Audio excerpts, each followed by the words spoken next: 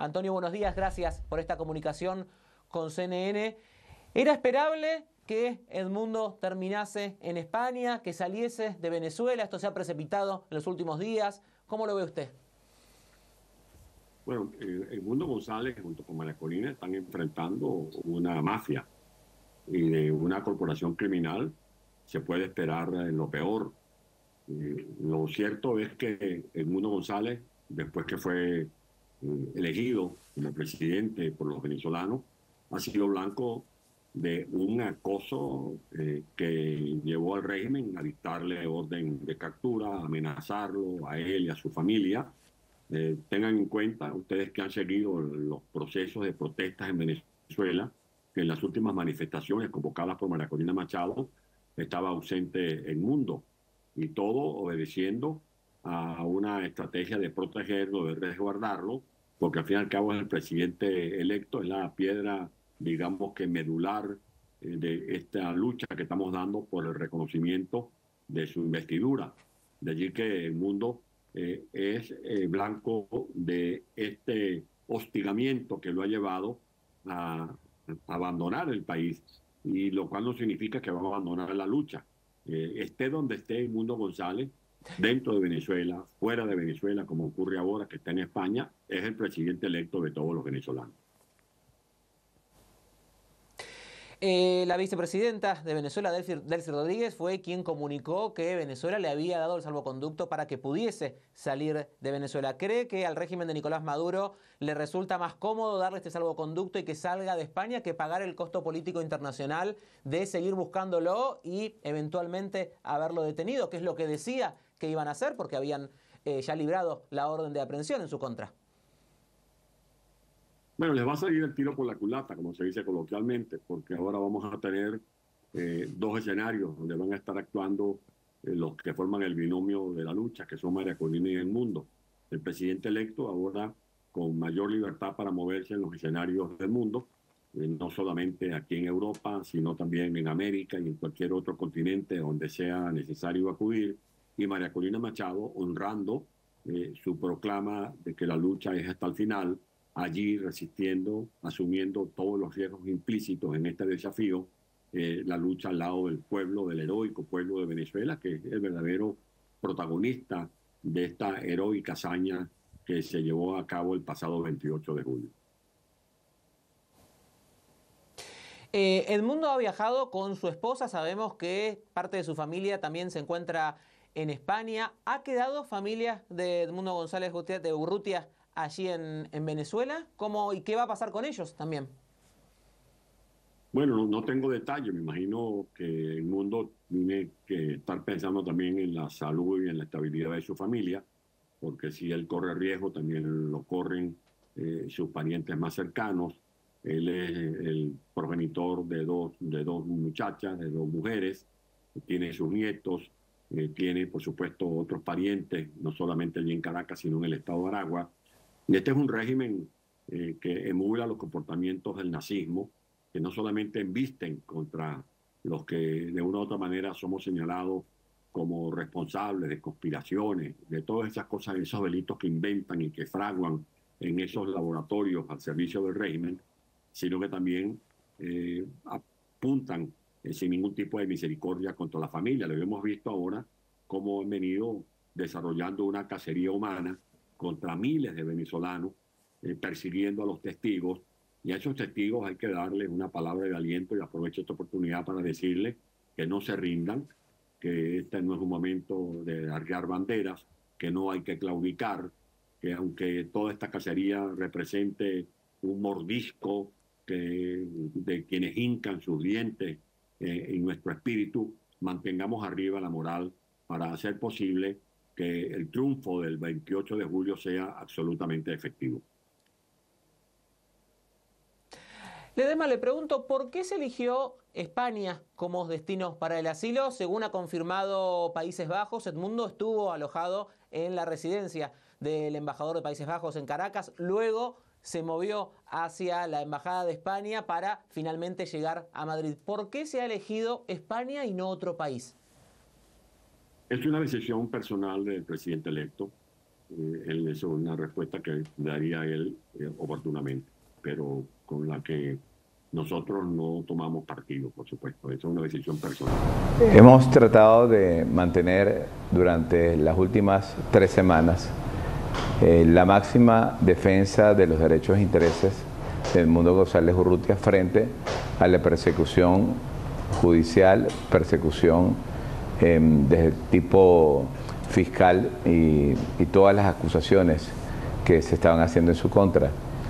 Llegó un momento en que se le presentaron citaciones por parte del Ministerio Público, se le libró una orden de aprehensión y durante todo ese tiempo el mundo González Urrutia se mantuvo firme en esas circunstancias de mantenerse en Venezuela.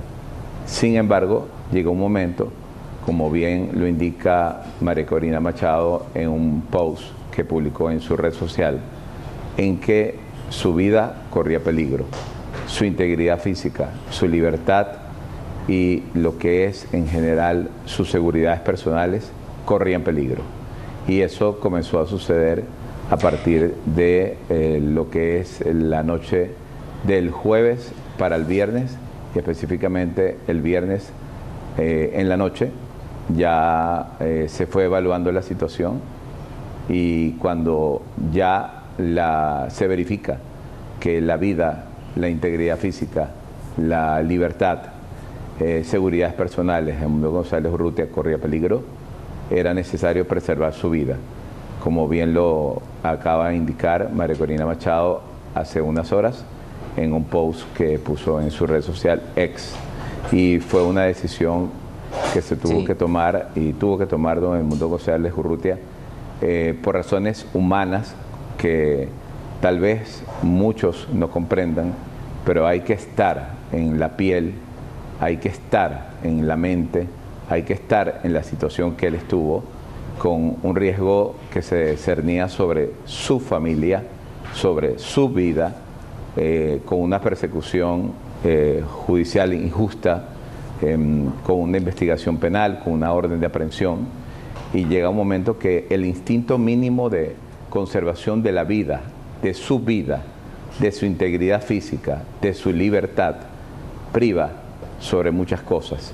Si el mundo González Urrutia era de alguna manera aprendido y capturado y, lo tuviéramos nosotros hoy en día en una cárcel privada de libertad, eh, estoy seguro que la mayoría de los venezolanos no estaríamos eh, satisfechos con ello y sentiríamos una, una gran, un gran sufrimiento por la vida de él y temor por su destino. Eh, frente a eso, que se comenzó a, evidenciar la noche del día jueves y se fue aclarando la noche del día viernes, se toman decisiones por parte del mundo González Urrutia eh, que van cambiando lo que eran sus decisiones particulares iniciales y se van considerando decisiones eh, de urgencia, de emergencia, de estado de necesidad, de no exigibilidad de otra conducta, de preservar lo más importante, su vida, su libertad, su integridad física. Ana María, buenas noches. Según la información de última hora que fue difundida en primer lugar por la vicepresidenta ejecutiva de Venezuela, Telsi Rodríguez, se informó que Edmundo González Urruti, el candidato de la opositora Plataforma Unitaria, abandonó Venezuela con rumbo a España. Esto, eh, según describió, se encontraba González eh, bajo condición de refugiado en la Embajada de España y luego de conversaciones entre Madrid y Caracas se coordinó el envío de González en las últimas horas. Decía, y cito eh, textualmente a la, a la vicepresidente, que esta conducta reafirma el respeto por el derecho que ha privado, asegura eh, la vicepresidenta, la actuación de la República Bolivariana de Venezuela en la comunidad eh, internacional. En las próximas horas seguiremos informando. La información de la partida de González fue confirmada por CNN directamente con la defensa. Es importante poner esto en contexto, Ana María, y es que justamente el lunes el Ministerio Público había emitido una orden de aprehensión en contra de González luego de que González no se presentara en tres oportunidades a la citación que se le hizo desde la Fiscalía venezolana para comparecer en el marco de una investigación en calidad de investigado en torno a una página web en la cual la oposición publicó las actas de escrutinio que fueron recabadas por sus testigos durante la jornada de votación en las elecciones presidenciales del 28 de julio. Según venía sosteniendo la oposición venezolana, se trataba de las pruebas que confirmaban el triunfo de González en la elección presidencial, pero de acuerdo con la versión oficial y del Ministerio Público, se trataba de documentos forjados, de documentos falsos y en este sentido se le habían, eh, se le estaría investigando con precalificación de seis delitos, entre ellos conspiración, falsificación de documentos y también eh, pues se le atribuía usurpación de funciones, entre otros delitos, eh, que de ser hallado culpable eh, por estos delitos podría enfrentar una pena máxima ante las autoridades. Edmundo González Urrutia, el candidato opositor que enfrentó a Nicolás Maduro en las urnas, ya se encuentra en España. Así lo informó la defensa legal de González. Desde el exilio, González agradeció las palabras de solidaridad de sus seguidores e informó que su salida de Venezuela estuvo llena de complicaciones y que seguirá en la lucha por la libertad y la democracia en Venezuela. Vamos directamente a Caracas con Manuel Coela para conocer los últimos detalles, Manuel, de un día que ha estado bastante lleno de información, ¿no? Sí, Ana María, muchísima información, no solamente hoy, sino ya desde anoche cuando se conoció la salida de Edmundo González rumbo a España tras haber solicitado asilo político a ese país y luego este país pues aceptó esa solicitud y ya se encuentra Edmundo González en territorio español.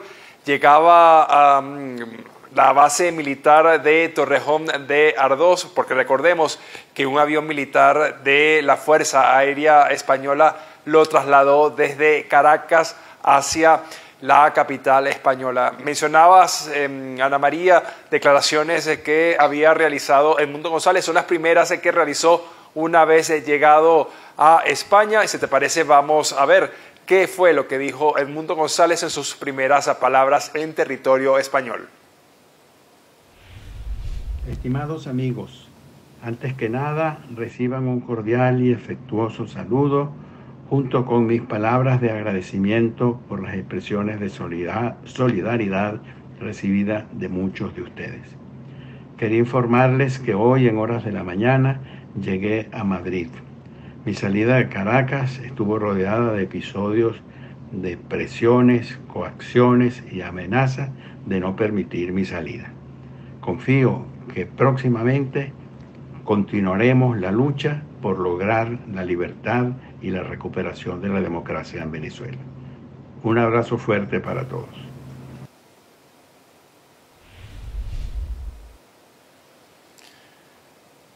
Bien, Ana María, entonces Edmundo González ya se encuentra en España. Acabamos de escuchar sus eh, primeras declaraciones en ese país europeo al eh, que llegó eh, luego de haber estado refugiado precisamente en la residencia del embajador español en Caracas, luego de mm, más de un mes de haber estado mm, hasta ayer que se supo que estuvo en esa dependencia diplomática, no se sabía dónde estaba. Y también Países Bajos confirmó hoy que un día después de las elecciones, es decir, el 29 de julio, Edmundo González solicitó protección en la residencia del embajador de Países Bajos y permaneció en ese lugar hasta el pasado 5 de septiembre, cuando eh, cambió a la residencia del embajador español. Ana María. Usted no quiere referirse a ella por su nombre, pero es inevitable preguntar por la situación de María Corina Machado. Ahora que Edmundo González no está ¿Hay garantías para que ella siga liderando a la oposición? ¿Cuál es su futuro? No, pero es que yo, yo no determino a esta persona porque, repito, cuando alguien usted la ve dirigiéndose en lo personal hacia mí, hacia otras autoridades, con calificativos que parecieran escatológicos, obscenos, eh, sumamente, yo diría, si usted me permite, con el perdón de las damas, altamente grosera, yo prefiero no responder nada vinculante a esta señora. Pero es que es inevitable preguntarle porque ella en este momento es la cara visible de la oposición. Así que es inevitable preguntarle porque... No, pero ya yo le respondí, ya yo le eh, respondí. La, la cara visible, la cara... Si me permite, la cara visible de la oposición es el Mundo González Urrutia, el que colocó su rostro, su discurso en el tarjetón electoral, en el boletón electrónico, digital, como ustedes lo quieran llamar, en las pasadas elecciones presidenciales del 28 de julio, que ganó pero yo y que fue proclamado como tal quisiera recordarle Maduro por el único órgano eh, establecido para ello, que es el Consejo Nacional Electoral y el Poder Electoral. O sea, González Urrutia. Pero a mí me gustaría recordarle que hoy en la rueda de el prensa. Líder de la oposición con el cual, con el cual. Sí, pero Usted me interrumpe mucho. Usted dijo hoy en la rueda de prensa que la cara era. No, desarrollar una Lo que pasa es que acá hay unos segundos en los que no nos podemos encontrar por el tema de señal. Pero lo que le quería preguntar era que usted hoy en la rueda de prensa decía que eh, González Urrutia ni aparecía, que no lo dejaban hablar, que no esto. O sea que la cara en este momento de la oposición y quien queda en Caracas, pues es María y, cuál, y, y, eso usted, me lo, usted no me lo puede imputar a mí. Usted no me lo puede imputar a mí. Yo, yo referí, si quieren me lo permite, porque lo dije de memoria, hoy se dio, si me iba a haber una redundancia, el capítulo final de una obra humorística de la categoría de teatro bufo, llamada, dicha obra, Hasta el final.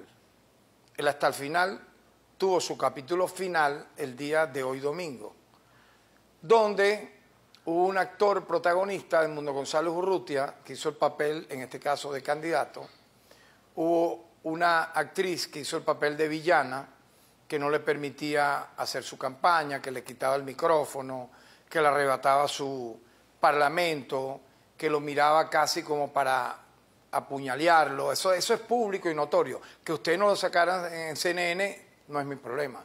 Pero usted puede ver todos los videos de todo lo que ocurrió y fue así.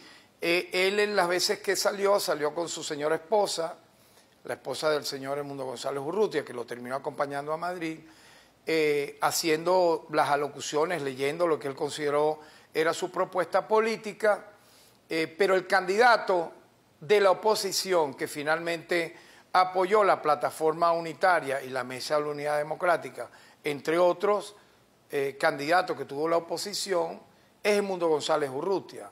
Y él, como diría la canción de José Luis Perales, se marchó. Es una decisión voluntaria de él.